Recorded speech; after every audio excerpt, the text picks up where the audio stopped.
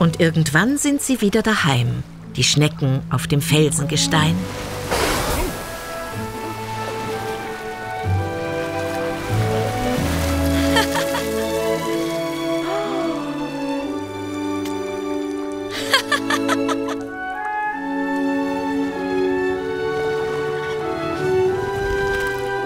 Sie sagen, Was willst du? Ist schon so spät? und Bist du gewachsen, wie die Zeit vergeht? der Wal und die Schnecke erzählen sodann von ihrer Reise, wie alles begann. Von Wellen und Wogen, von Sonne und Wind.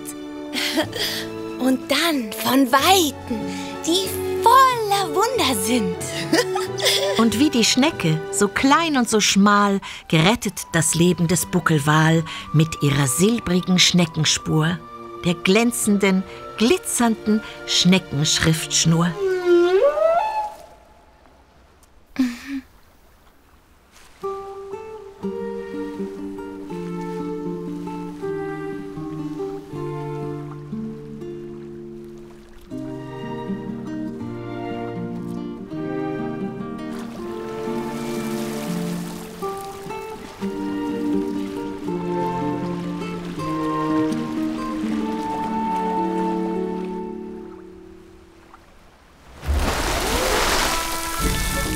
Und dann hebt der Buckelwal seinen Schwanz ein Stück aus dem Wasser, aber nicht ganz.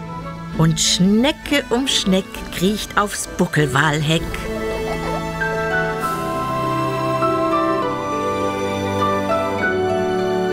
Auf geht's und los! Die Welt ist groß.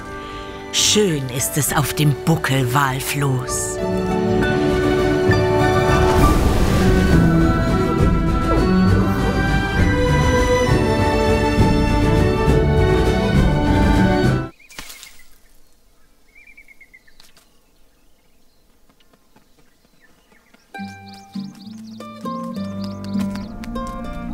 Die Maus spazierte im Wald umher.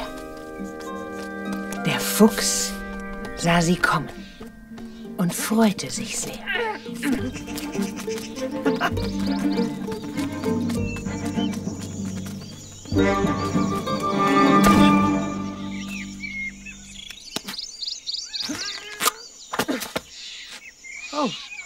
Hallo, kleine Maus. Wohin geht die Reise? Bei mir im Bau gibt's Götterspeise.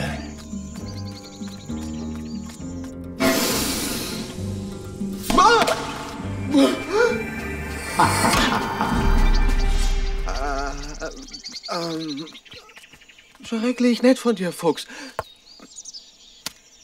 Aber nein, Nein?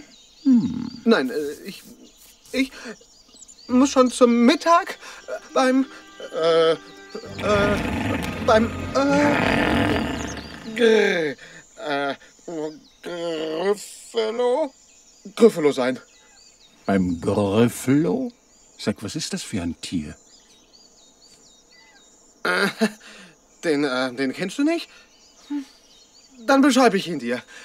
Ah, Er hat schreckliche Hauer und äh, schreckliche Klauen und schreckliche Zähne, um, äh, um Tiere zu kauen. wo, wo, wo triffst du ihn denn? Gleich hier bei dem Stein. Und äh, Fuchsspieß zu Mittag. Das fände er fein. Fuchs am Spieß? Nein, danke. rief der Fuchs. Leb wohl, kleine Maus. Und er flüchtete flugs. Wie dumm von dem Fuchs. Er fürchtet sich so. Dabei gibt's ihn noch gar nicht im Gryffalo. Puh. Und dann?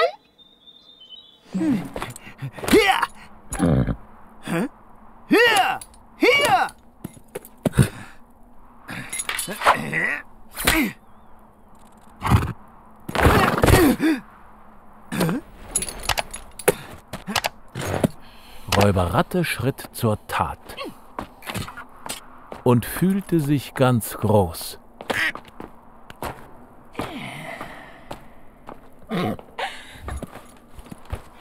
Die Ente aber stieg aufs Pferd.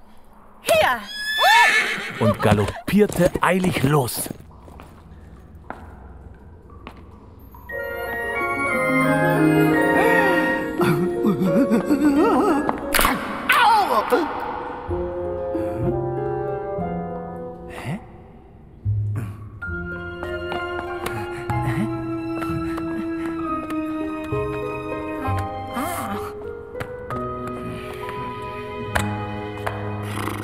口红口红口红。口红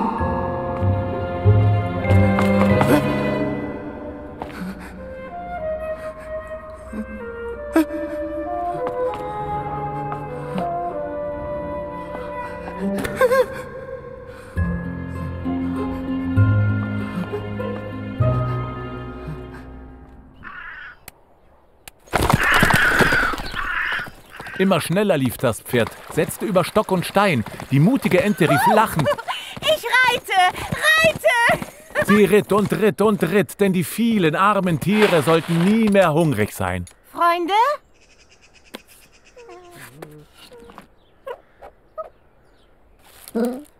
Hier!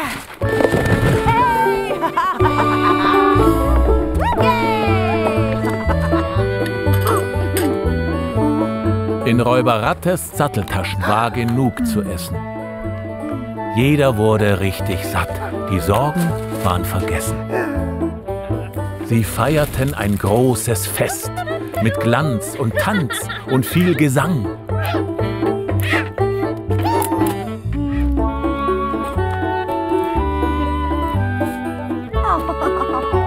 Es wurde gelacht, am Feuer wurden Geschichten erzählt und das bis tief in die Nacht.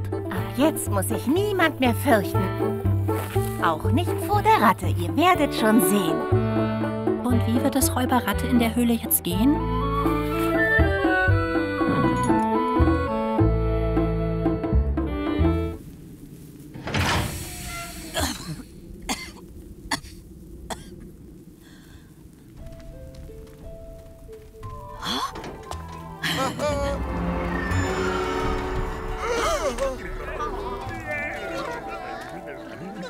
Die Armwedelsprache war schwer zu verstehen.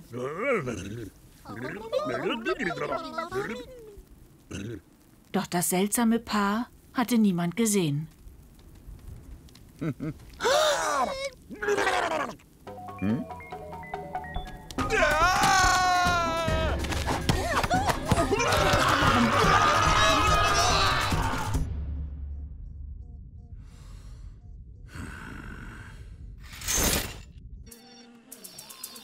Von den Monstern auf Lurk war nichts zu erwarten.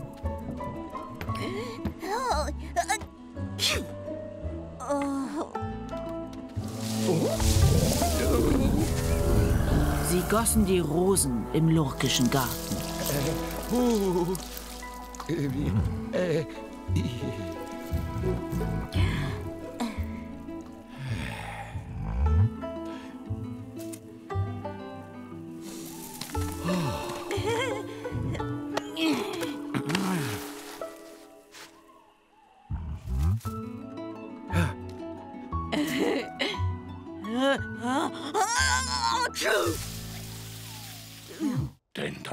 dich die große böse Maus. Einst traf ich sie, seufzt der Gryffalo schwer. doch das ist schon lange, lange her.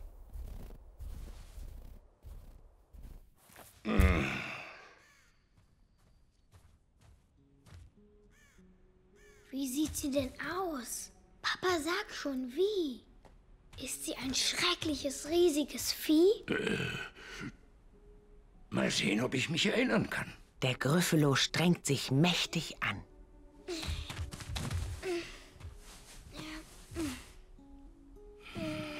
Er grübelt, denkt nach, horcht in sich hinein. Er kratzt sich am Kopf. Da fällt es ihm ein. ganz furchtbar stark ist die große böse Maus.